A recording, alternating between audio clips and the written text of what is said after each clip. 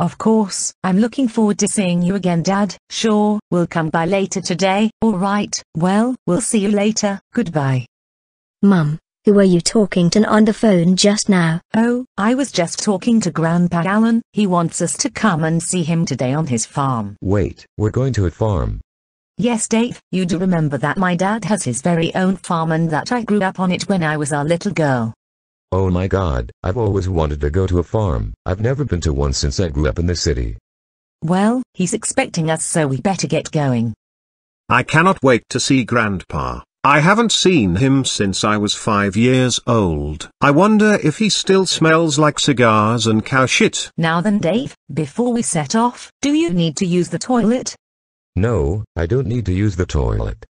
Are you sure? Because it's going to be quite a long drive to my dad's farm. Yes, I'm sure, I do not need to go to the toilet. Well. Okay. Alright, guess we better get going then. Caillou, you are an embarrassment to the whole family. Hey Catherine, I have something that I need to tell you. What is it, Dave? I need to go to the toilet. Oh for crying out loud Dave. Ah, Catherine, you finally made it. I've been looking forward to seeing you after so long. Well, it was a long drive, but we finally made it. Well, since you are all here, would you like some lemonade and cookies? It's freshly made lemonade, of course. Ooh, I don't like lemonade, it's too sour and it makes my mouth feel funny. Dad. I assume you remember my husband, Dave. Oh yes, I remember him very well. I assume that he is still childish. Or has he grown up a little more since the last time we met? Sadly no, he is still just as childish as when you saw him last. Hey! That's mean, I've grown up in the last 10 years. Oh really? Well then name one time that you didn't have a tantrum during the past 10 years. Go on, name one time you acted like a mature adult. So, got nothing to say have you? Well, I guess that proves my point. Come now, Catherine. Don't be too hard on your husband. If being childish makes him happy, then I think you should just let him get on with it. It's not that, it's the fact that he is always throwing tantrums over the dumbest things. Yeah, it is kind of embarrassing, having a dad who would throw a tantrum in public because you dragged him away from the toy store. Well, can I give you some friendly advice? I suggest you be patient with him and let him act like a big kid if it makes him happy. Oh my god, thank you. So anyway, would it be alright if I go and see the animals? Sure, I don't see why not. Just try and stay out of trouble, and come straight back here once you've finished. Yay! I am going to see the animals, I am so excited. Well, he seems happy right now. Oh trust me dad, the day isn't over yet, there is still plenty of time for him to throw one of his tantrums.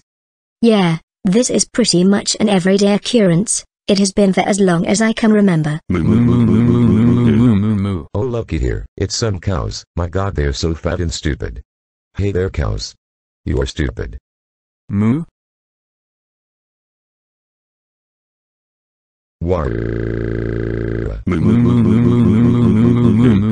Oh dear god help me I'm being chased by murderous moose. So, Brian and Emma, it's been a long time since I last saw you both. How have the pair of you been? Oh, we've been doing very good. Thanks for asking, Grandpa. Oh yeah, Brian and Emma have been doing really well for themselves, especially in school. Emma is one of the smartest students in her class, and Brian has got a straight A in nearly all of his subjects. War. Dave, whatever is the matter? Yeah, why are you crying like a baby man-child? I got chased by some cows. War. It was so scary. Those cows were really evil and I think they wanted to eat me. What do you mean you were chased by cows? Well I was walking through the fields minding my own business when they appeared out of nowhere and started chasing me. I think they wanted to get revenge on me for eating their relatives in burger buns. Are you sure that's what happened? You didn't insult them, did you? Well, I may have called them stupid, but I didn't think that they would understand me. Ah, that could have been why they chased you. Those cows are very easily offended and will chase anyone who insults them. Oh, guess I shouldn't have called them stupid in fact then. It probably might have been a good idea not to. Oh Dave, can't we have one day without you causing some kind of shenanigans? I'm sorry, I was just having some fun. I didn't know that the cows would have been able to understand me, or that they would get easily offended. Well, at least you didn't have one of your tantrums today, so I guess that is a plus. Although, I wish we could have been there to see Dad being chased by the cows. Yeah, that would have been really funny.